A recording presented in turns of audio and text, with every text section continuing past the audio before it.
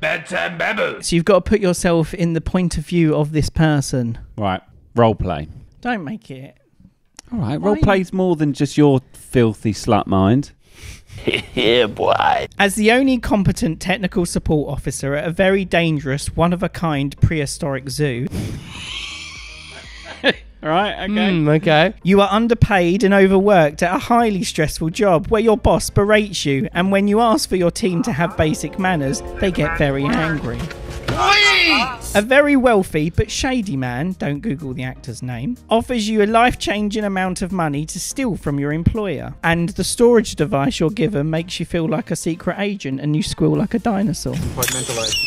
It turns out that the thievery isn't particularly hard, very much depending on the weather conditions and your driving ability. Do you take the offer?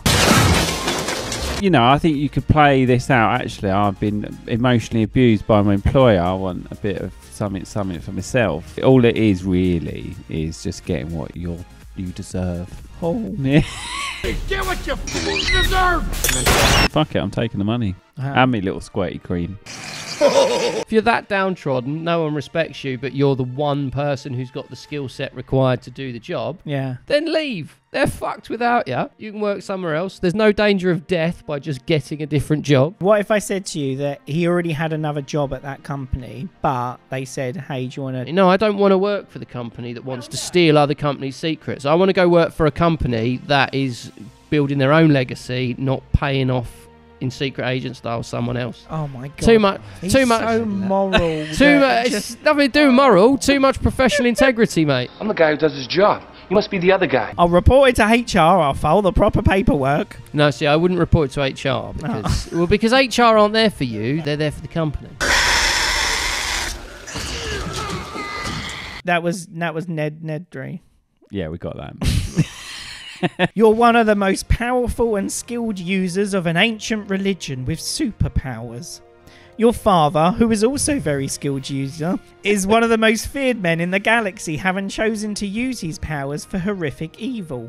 Sensing the good within him, you refuse to fight him and end up saving him, metaphorically, which puts an end to 30 years of ruthless dictatorship that in its spare time would blow up planets. Ten or so years later, the galaxy is mostly at peace, and you're training a new generation of children eager to learn your ancient ways. One of them being your nephew. Despite training going well, you sense an evil within him and have a bad dream, which involves women and children screaming. Do you sneak into your nephew's tent in the middle of the night with the intention to kill him with your laser sword? Would I kill my nephew uh, because I had a bad dream?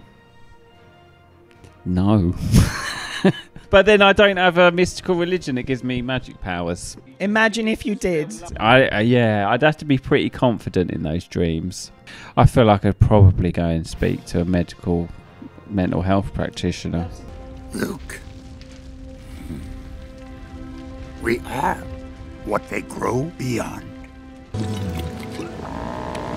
Yeah, I think it's probably a, a better step to take than just you know Almost like there's an in between. familial mi- murder. Yeah, I feel like we could actually just frame this as a mental health advert. Actually, this this scenario. Luke didn't seek help. He didn't talk to anybody. Then he murdered his nephew. Attempted. Tried to. Attempted to, yeah. Allegedly. You used to sit him down. Everything all right, mate? Who would you sit down? You, the nephew. Oh, I If, you, if you've had a almost like dream, Luke, if you've had a dream that your nephew goes out and, and destroys people, unless you wake up in Lad. the, or, or, or, or destroys stuff, like does whatever it is he does, unless you wake up in the morning and that's actually what he's physically doing at the time. Yeah. it's a bit of a leap to assume that that's what he's going to do this afternoon. Mm. So maybe you can sit down, head it off at the pass, you know, have a nice cup of tea. Maybe you a chat. correct those ways, you know? Maybe Exactly. you try harder in training to get them Exactly. to not go to the dark side. Like maybe, maybe, you just maybe what could have happened to you, but you also battled with it, E- Luke. Exactly. Yeah. Maybe. Maybe. Yeah. Maybe he's struggling in the same way as Yeah. your father did, and you should recognise that and do able to more help. to. uh, yeah. Yeah. exactly. Recognizing a family pro- problem. Yeah. Right. yeah. Well, that's because you two don't take risks. and if you were a director and writer yeah. with any kind of cojones, you'd take risks.